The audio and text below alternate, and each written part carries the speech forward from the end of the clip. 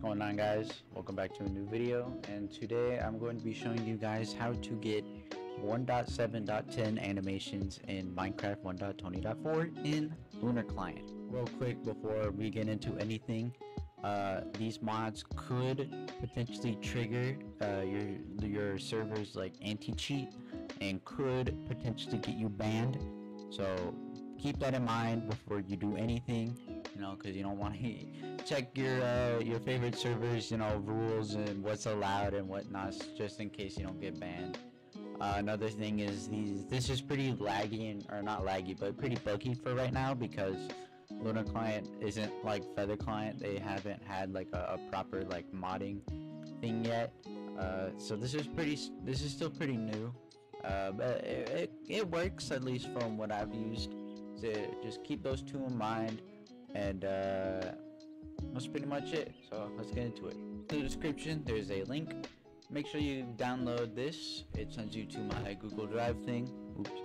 And uh, make sure you download this. And uh, yeah. Okay, once you have our the Lunar Mods uh, file, go ahead and open Lunar Client. Um, you know, make sure you're logged in. Uh, first, we want to go to Settings. Then go to Advanced Mode. Make sure that's on and go back in here. Click on this. Click on mod packs. And we're going to select MCC Island for Lunar Client.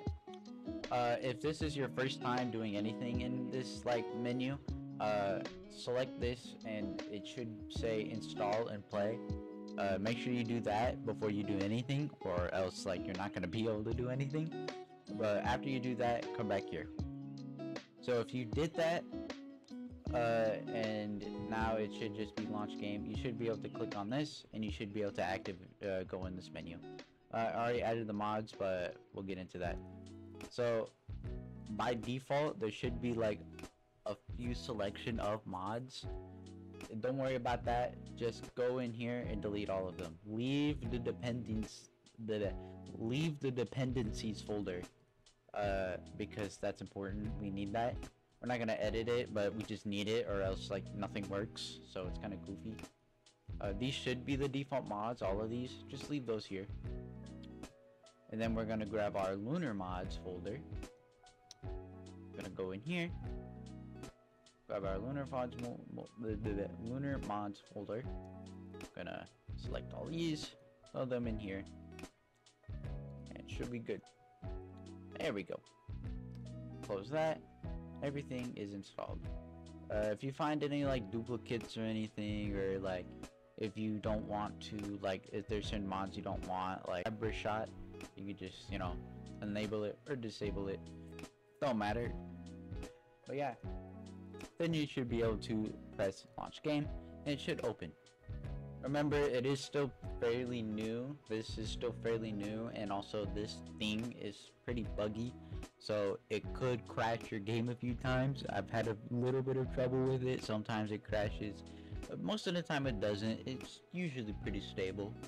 Um, but we have more steps to go after this, so make sure you still watch because we are going to do settings next. Now that we are in Lunar Client, we want to go into Minecraft settings, go to controls, keybinds, and we're going to find two things. Nostalgia tweaks, we're just going to bind this to whatever I have it to minus and uh, cookie mod, we need this one too. Bind it to whatever is not overlapping. Then we just need to hop in a just a single player world. Okay, we are in our single player world. So what we're going to do is we're going to press the button that you bind the, uh, the nostalgia tweaks to. And we're going to go to config menus, go to manage, toggle all tweaks, change all tweaks to disable, ignore all filters and apply tweaks, toggle all tweaks. Okay. Then we just close out of this and press save. Boom. You're now saved. This is just so we reset everything in case there is a mod in here that could potentially trigger something. This isn't like a, a foolproof thing to protect you, but it's just in case, you know, there is something there. uh, that I am not aware of. I just disable everything and we can just get into the main part. Next, we're going to go to, let's start with eye candy. Go to eye candy and then press old item handle. Or yeah, old item item handle. Press that, select enable. Then we can press that. Go to swing. Go to global speeds, attack swing speeds, and using swing speeds. Set both of these to 6. Then go to animation. Item animation. Select all of these. Then go to arm animation. If you want to change like sway or whatever, you can. Uh, go to arm swing. And then select old swing. Next, go to player animation.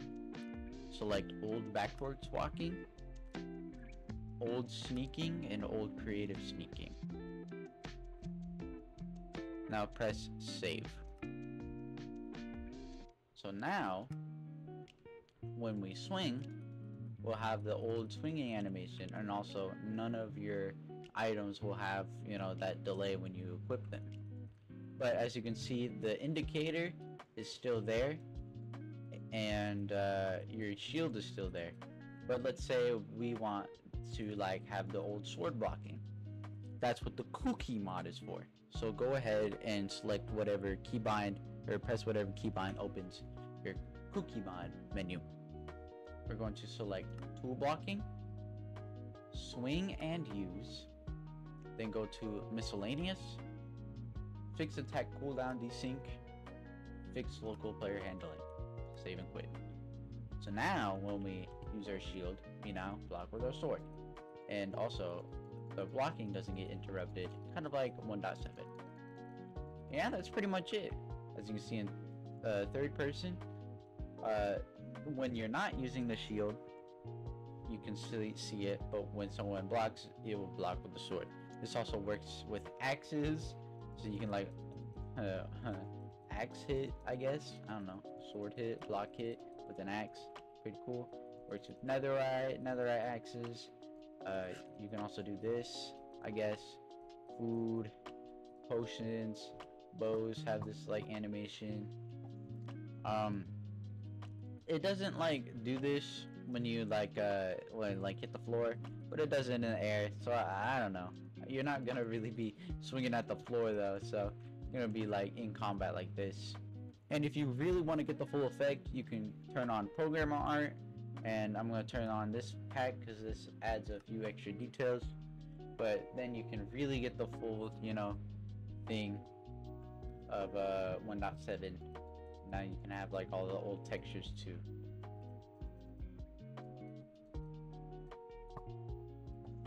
I would say if you want the 1.8 animations and not the 1.7 animations.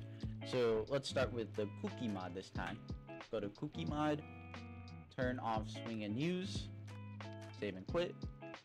Go to nostalgia tweaks, config menu, animation, go to uh, arm animation, arm swing, turn that off, go to eye candy, go to old item handling, turn that off, press save. So now we have the 1.8 animations.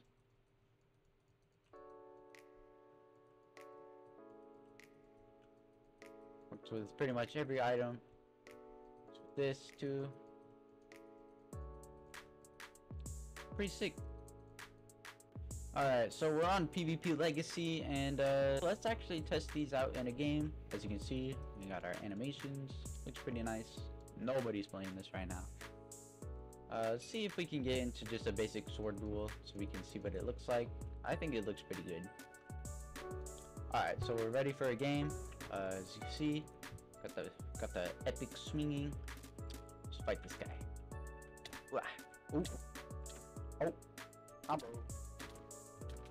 no, I'm getting clapped. I'm getting clapped. No, I'm so bad. I do not play 1.9. Alright, fight this guy again. Alright. Oh. Oh. Oh. Yes. Yes. Crit. In the back. Little combo. I'm kind of getting good hits. Oh, nah, he got me. He got me. I'm dead. Alright. Let's get this guy one more time. I'm, this is not... Although these animations look good, definitely won't make you a better player. Ooh. Come on. Ooh, that was a good hit. Nice crit. I died. I'm gonna die. Uh, I'm getting railed. I'm, I'm gonna die. Oh, I'm getting good. I'm getting some good hits.